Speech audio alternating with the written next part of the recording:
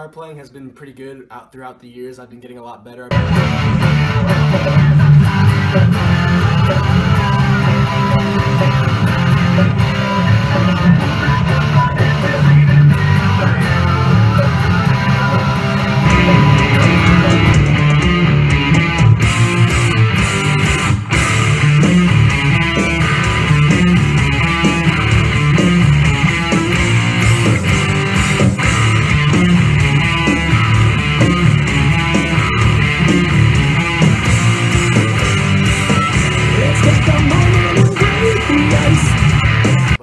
One thing I've really wanted to learn was how to tap.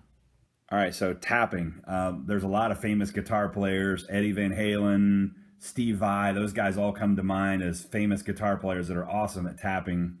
So, what was your first impression on? Okay, I'm gonna learn how to tap. I have no idea how to tap. Honestly, it is, from what I've seen from tutorial videos, it is very difficult to do. It is not necessarily easy.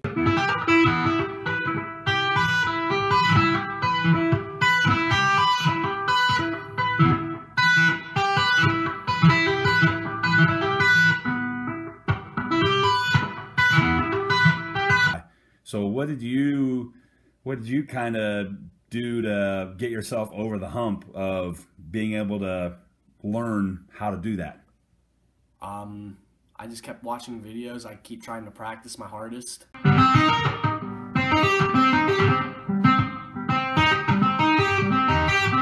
So, what did you, what did you kind of do to get yourself over the hump of being able to learn how to do that?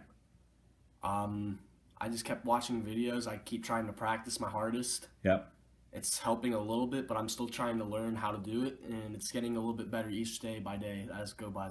Cool. So it sounds like you kind of took these. There's no way in the world I'm going to be able to do this. Set your mind to it that I want this bad enough. I'm going to do it, and you've kind of set a, um, I guess, a precedent. So you got to practice. You got to dig in. You got to sit down and really walk through it. So how how long have you been tapping now? I'd say for now, I'd probably been tapping for a good two weeks. Okay. And it's progressively getting a smidgen bit better each day goes on because I keep practicing every single day. Okay.